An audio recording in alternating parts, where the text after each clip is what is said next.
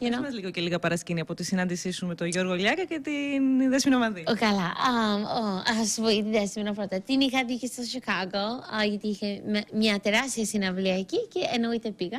Και της έλεγα ότι «Ω, θα δώσει 10 μέρες να σε δώσω το Mamma Mia και δεν λέω τε- αυτά τα πράγματα. Και μου λέει, οκ, 10 μέρες μόνο μου έλεγε.